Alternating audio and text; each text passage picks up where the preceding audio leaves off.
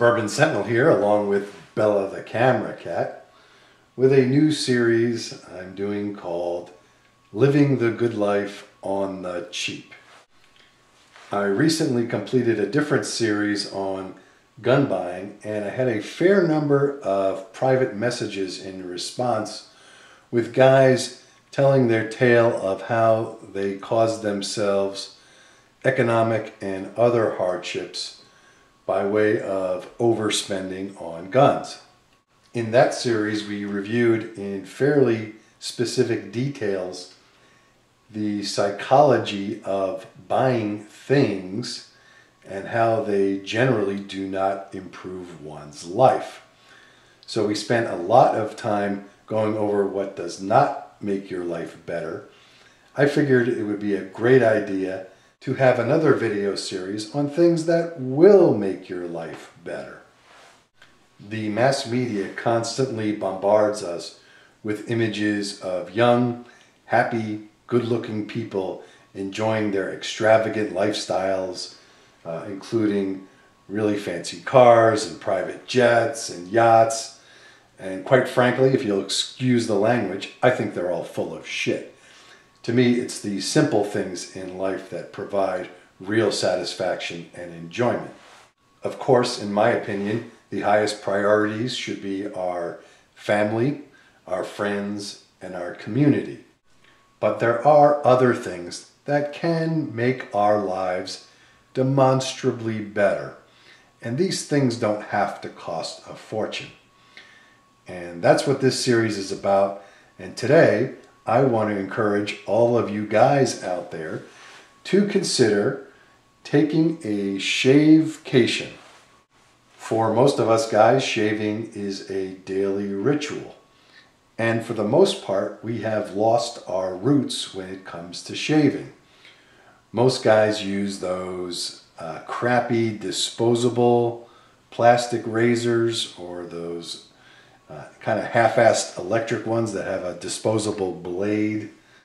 Even worse, uh, a lot of guys use those electric razors, which in my opinion are complete garbage. One of the simple things that I really enjoy and makes my life better is good old-fashioned wet shaving, sometimes known as badger and blade shaving. This is the way our fathers grandfathers, and for you younger guys, great grandfathers, shaved. Back in the days before electric razors and disposable razors, there were double-edged safety razors like this one that appears on the screen here. And before that, there were straight edge razors or cutthroat razors. I derive a lot of satisfaction by way of shaving the old-fashioned way, and perhaps you might as well. First, let's take a quick look at the equipment for those of you, especially you younger guys, not familiar with old-fashioned shaving. This is a typical double-edged safety razor, and this is a modern one, built only, I don't know, 10 or 15 years ago. And I have made this razor safe. This is kind of like a gun review where I did take the blade out because the cat is up here. So I did that for her protection and mine. But essentially the blade rests in here and that blade is disposable, but it's a single piece of steel. And this razor happens to be adjustable. Not all of them are. This is a very typical high quality razor. Next major item is a brush.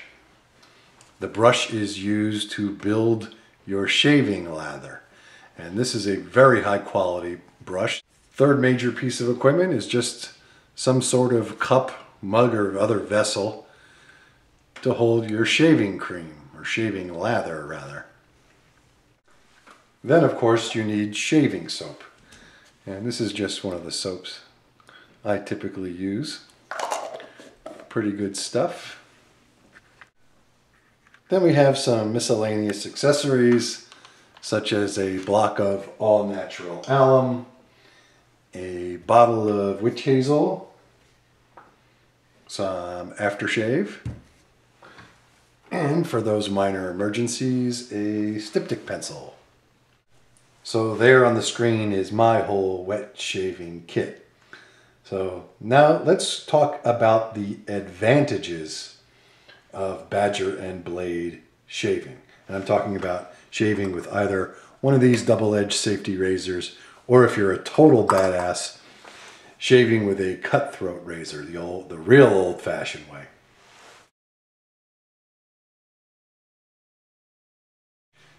First of all, using Badger and Blade will give you a much better shave. Your shave will be closer, and for those of you who end up getting the 5 o'clock shadow at 2 in the afternoon, Badger and Blade is the best way to go. Plus, using a high quality soap and some of the other little uh, lotions and potions we have here is really good for your skin and won't dry it out and has no harsh chemicals in it like commercial shaving creams. Next, traditional wet shaving is much more environmentally friendly than using disposable blades. If you use a double-edged safety razor, the only disposable component is the double-edged blade. And I collect these over a period of years and then they go into the recycling bin.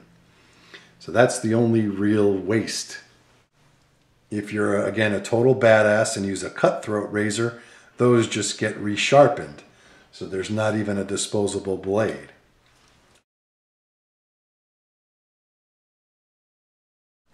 Next big advantage is that Badger and Blade shaving is economical. I was in uh, Costco yesterday and I saw the price of these disposable blades that you use on a cartridge razor. And I don't know, for 25 blades, it was like 30 bucks or some ridiculous amount of money. To me, that is horrendously expensive. The blades I use are fairly high-end blades and they run about 20 cents a piece. Also, those uh, pressurized cans of uh, cheap, crappy uh, shaving cream that basically are just chemicals and compressed air or compressed whatever.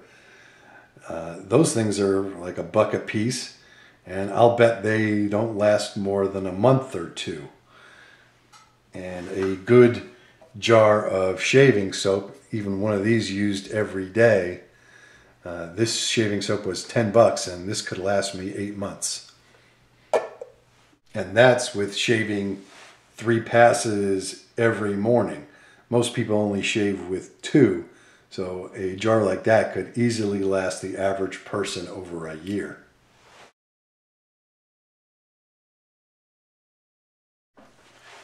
Another great reason for traditional wet shaving is gift giving. More precisely, gift receiving.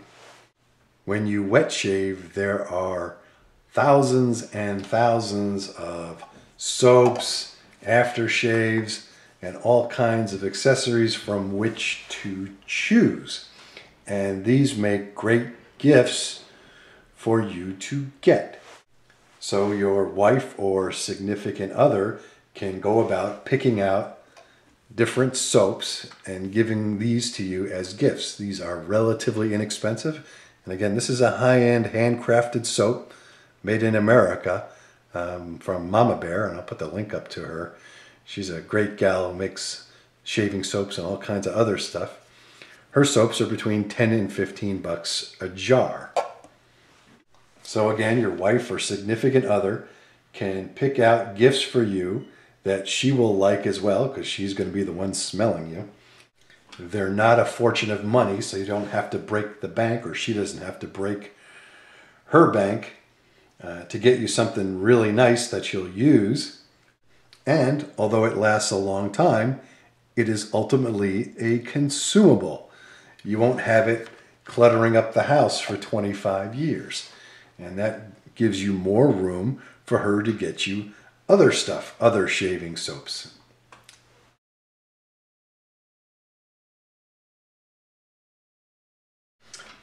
The last and, in my opinion, most important reason to wet shave is that it forces one to slow down.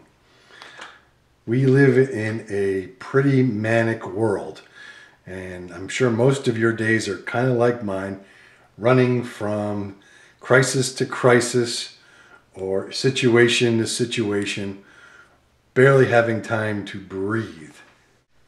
Badger and blade shaving inherently takes more time to do. And in the morning, shave time is my time. Everybody in the household knows not to bother me while I'm shaving. I always say it's because it's so dangerous. You have this, you know, really sharp blades and all that stuff. But essentially, it's my time, my shavecation. And unless the damn house is burning down, either it can wait or someone else can handle it. The extra 15 or 20 minutes I take in the morning to shave really gives me time to think. And some of my best ideas, not that any of them were ever very good, but some of my best of my worst ideas came while I was shaving. Plus, when you finish a proper badger and blade shave, at least for me, I feel like a million bucks and ready to face the world. At the end of the day, I feel like 50 cents, but at least at the beginning of the day, I'm ready to rock and roll for whatever comes my way.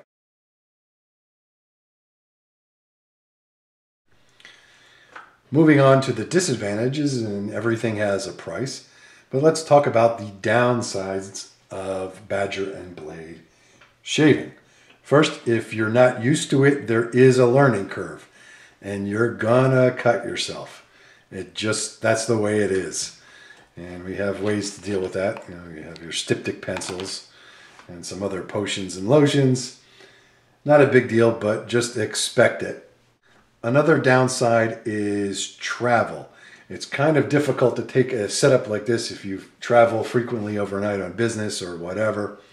Now they do make travel setups. They're not ideal. So Badger and Blade uh, might be something that's not really practical if you do a lot of uh, overnight travel.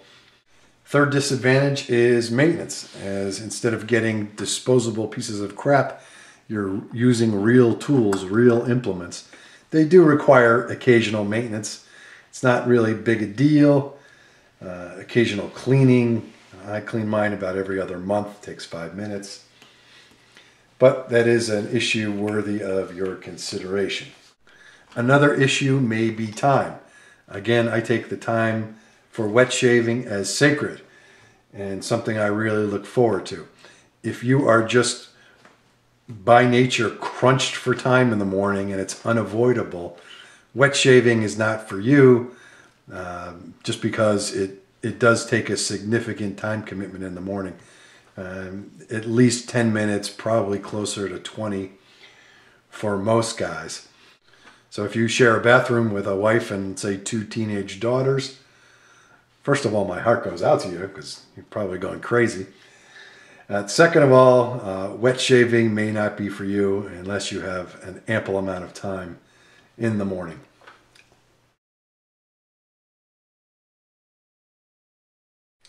So those are your basic downsides, or at least the ones I see. Again, wet shaving is for me a really great thing and it's fairly inexpensive. This whole setup here in front of the camera, eh, although I bought this years ago in today's dollars, will probably running, and this is kind of a rough guess, maybe 200 to $250. Now I bought real high quality implements here good razor, and this is actually the most expensive thing is the brush. If you would equate this to the quality and cost level of the firearms world, this is probably akin to a Sig Sauer kind of deal. I don't mind spending that kind of money because I've had this set for years and years and it will last indefinitely unless the cat does something to it. She's doing right now. Of course, you don't have to spend $250 uh, to get a good setup. If you wanted to step down to kind of like a Ruger quality uh, kind of setup, you can probably do it for a hundred bucks and still get a very good shave. And if you just want to try it out to see if it's for you, for 50 bucks you can do a kind of a Hi-Point. As far as maintenance and consumables, like the aftershaves and the soaps, um, I spend, or my, at least my wife spends on gifts, less than $50 a year on blades and all kinds of accessories. And that's probably on the high end. You could do it much more economically if you choose to, probably as low as 15 to $20 per year. So that's my pitch for good old fashioned badger and blade shaving. If you'd like some more information on traditional wet shaving, I will certainly be happy to do more videos on same. So thanks for watching. This is the Suburban Sentinel, along with Bella the Camera Cat, saying please subscribe and shave safely, everybody.